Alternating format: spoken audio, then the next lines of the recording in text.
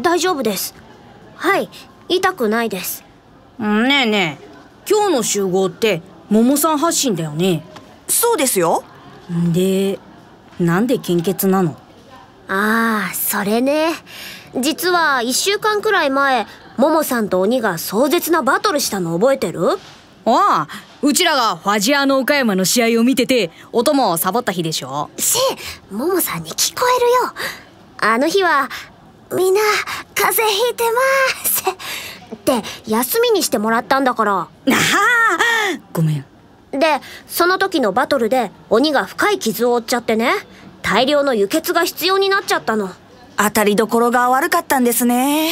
んでなんで献血なの？まさかその時鬼に輸血したから血が足りなくなってしまった！とか？それがね自分のせいで市民の皆さんの善意で集まった貴重な血液を使ってしまった。鬼に輸血した分は私が返します。ってでここ。そう。だって血液は人工的に作れないから。そうなんすね。そういえば献血っていつも足りていないっていうイメージ強いよね。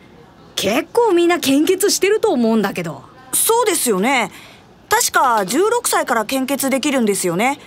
だったら言うほど献血人口が少ないとも思えないんですけど。じゃあ献血で集まった血液ってどのくらいの期間保存できるか知ってる？ああ冷蔵庫で1年。いや冷凍して5年。はあこれだから君たちは。正解は赤血球が冷蔵で21日結晶という成分は冷凍で1年です。えー、そんなに短いっすか？結晶板という成分に至ってはたった4日しか持たないんだって。さっき16歳から献血できるって言ったけど献血する人のうち特に10代から30代の人が減ってるらしいよ。それじゃあ足りなくなるわけだ。それに献血で集まった血液は怪我だけじゃなくて多くはがんなど病気の治療にも使われているからね。だから血液が足らなくならないように献血をお願いしてるんだよ。それは大変っすね。しかも冬になるとみんな風邪をひいて薬飲んだり体力が落ちちゃうでしょ？そうなると献血ができなくなるから冬の時期は特に献血してくれる人が少なくなるらしいよ。いや全然知らなかった。ところで先輩岡山県で献血ができる場所ってどこなんすか？岡山市内の献血ルーム桃太郎と献血ルームうらら。他にも献血バスが岡山県内各地を巡回してるよ。献血ルームには漫画があるし献血会場ではお菓子やジュースももらえるみたいだし。